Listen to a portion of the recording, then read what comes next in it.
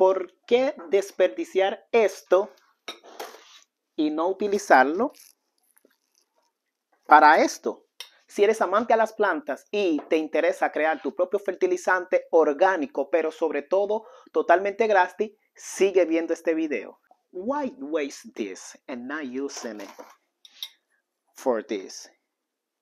If you are a plant lover and you like to, to do to your own organic fertilizer and for free, don't miss this. Quiero mostrarte cómo yo composto la concha de cangrejo y cómo la utilizo también como fertilizante.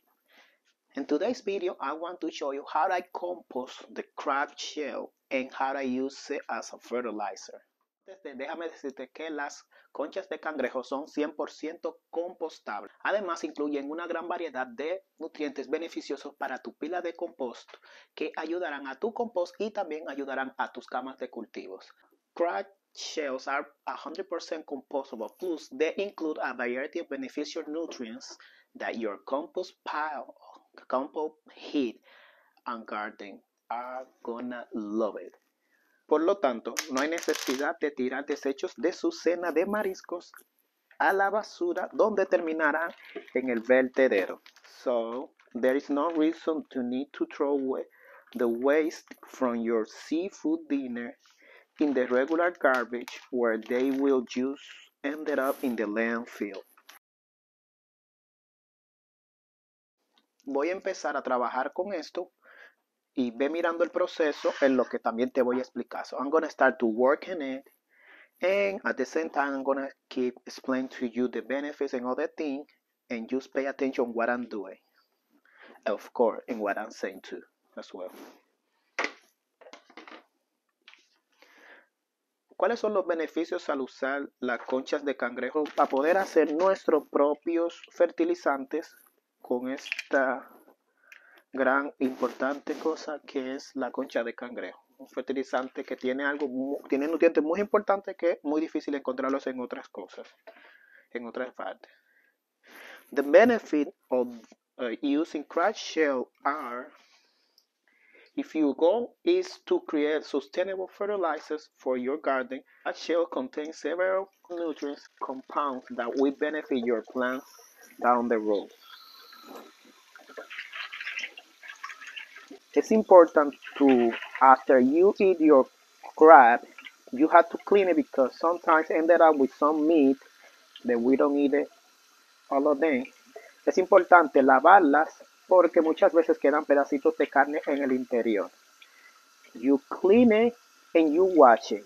Why you have to wash it? Because uh, seafood have a lot of salt, and we don't have we don't want that in our compost or in our plants. Es importante también limpiarlas y lavarlas muy bien. ¿Por qué razón? Como ustedes saben, los mariscos vienen del mar y el agua del mar es salada. Así que eso tiene mucha sal y tenemos que sacarle la mayor cantidad de sal posible para que así no afecte a nuestra composta ni a nuestras plantas.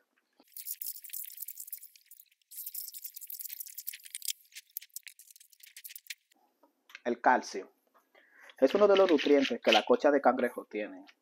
Son naturalmente muy ricas en calcio. La planta depende del calcio para poder producir paredes celulares fuertes y combatir muchas enfermedades comunes. Calcium. Crab shells are naturally very high in calcium. Plants rely on calcium to produce a strong cell walls and fight many common diseases. El fósforo es uno de los principales componentes básicos de la vida vegetal ayuda en la fotosíntesis de la reproducción genética, entre otras cosas. Los fosfatos se encuentran en casi todos los fertilizantes químicos, pero las conchas de cangrejo son otra fuente maravillosa y orgánica. The phosphorus is one of the main building blocks of plant life. It aids in photosynthesis and genetic reproduction among other things. Phosphates are found in almost all chemical fertilizers, but crab shells are another wonderful source, free and organic.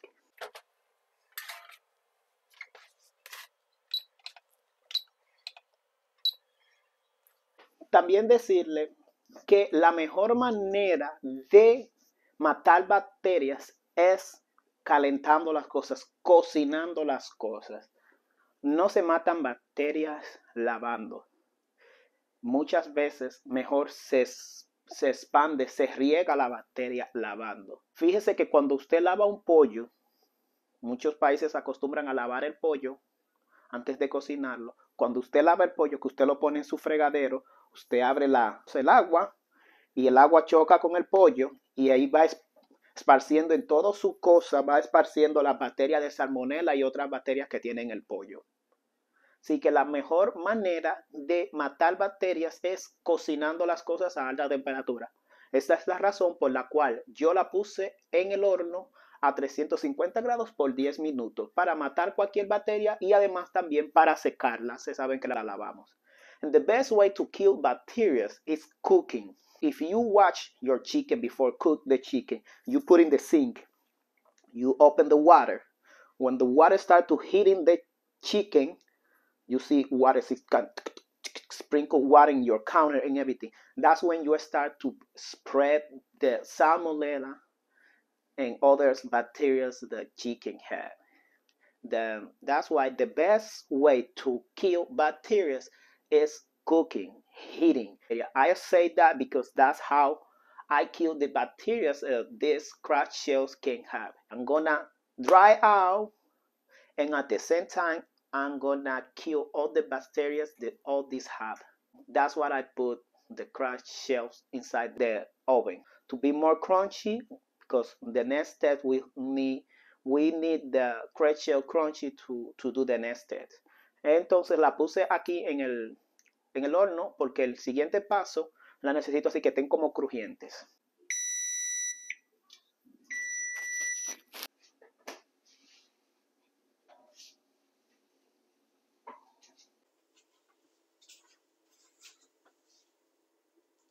Y por último, no menos importante, porque este es el más importante dato que decirte sobre las caparazones de los cangrejos es que tiene un componente, un carbohidrato que se llama quitina.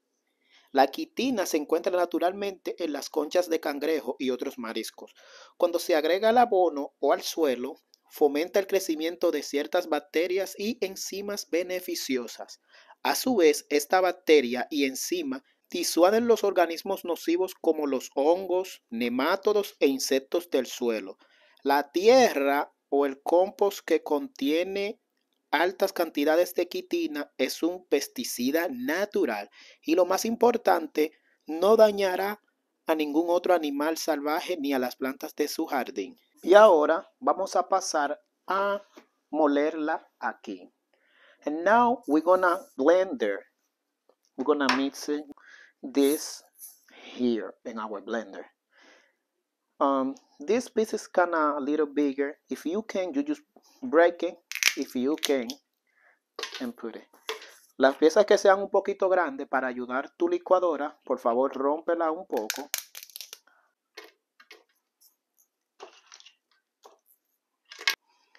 En lo, y lo vamos haciendo de a poquito. Lo voy haciendo de poquito para así no dañar la licuadora. I'm gonna do little by little.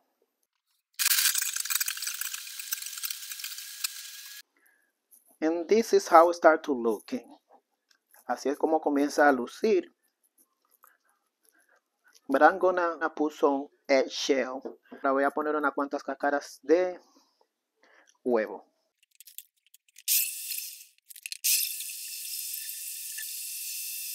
Y aquí ya nuestro resultado final.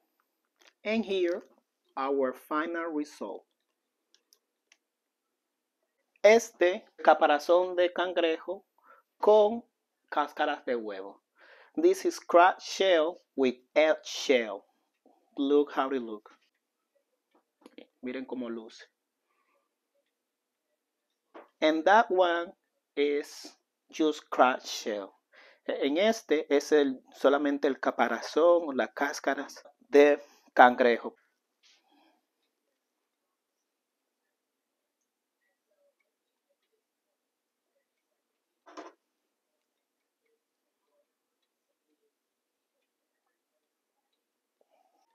Y aquí algunas plantas las cuales yo he venido fertilizando con esto por durante varios meses.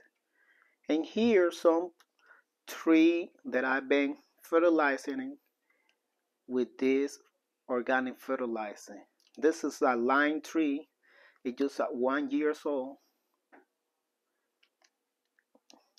And you see how tall it is. And it's growing new leaf.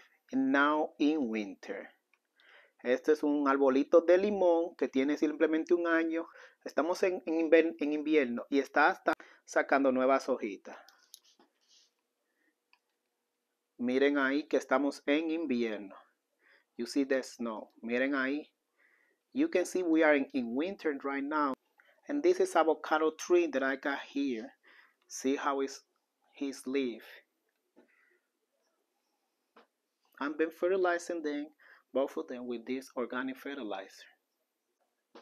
And to fertilize them, para fertilizarlo, simplemente agarras un poquito de eso, just take a spoon and sprinkle the whole surface.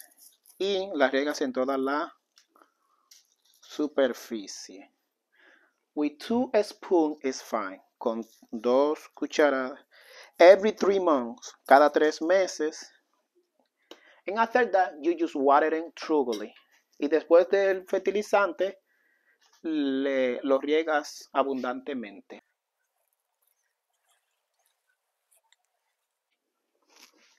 Ahora que ya sabes que las conchas de cangrejo y demás mariscos se pueden compostar y se pueden utilizar como fertilizante, puedes comer tranquilo y guardarlas ahí para que luego le saques más beneficios y le des otra utilidad. Así que espero que te haya gustado este video, haya sido de buen provecho y recuerda, dame un like si te ha gustado este video y nos vemos hasta la próxima. And now since scratch shells are compostable, you can rest easy and eat your seafood dinner guilty free. If you like this video, please give it a thumbs up and don't forget to subscribe if you haven't done yet. But please share this video, then we can reach out more person.